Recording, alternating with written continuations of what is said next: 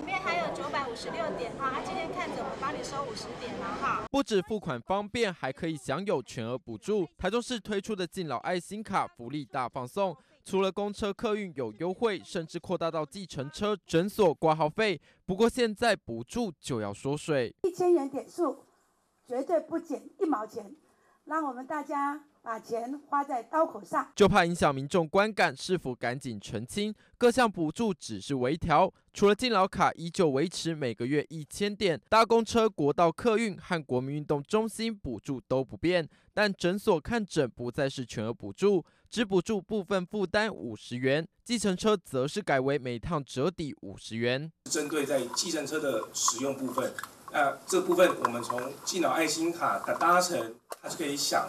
五十元的相关补助，交通局强调，补助还是优于其他县市。虽然折扣金额缩水，但配合车队也将从原本的一千五百辆增加到五千辆。我想是合理的，那不然真的消那个消费真的太大了，负担也是太大，也是不行了。我觉得这样子的话，是好像福利有点缩水。哎呀，啊啊，这样子的话，我就不会想搭自行车。不小补的问题是我认为按比例比较准啦，哦，因为五十块，比如说我搭自行车八百块，五十块就一点点了，果大概两层和三层都有点补助了，毕竟老年人不会赚钱呐。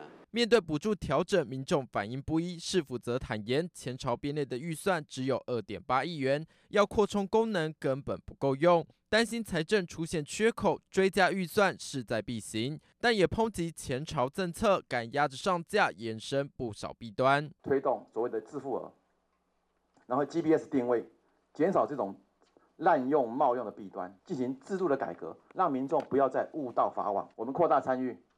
让所有的愿意能够配合上线的计程车业者都能够来参与。尽管市府利益良善，但和选前说好的不同，福利缩水是事实。接下来要如何说服民众，又是另一项挑战。华语新闻，洪世成、徐国豪，台中报道。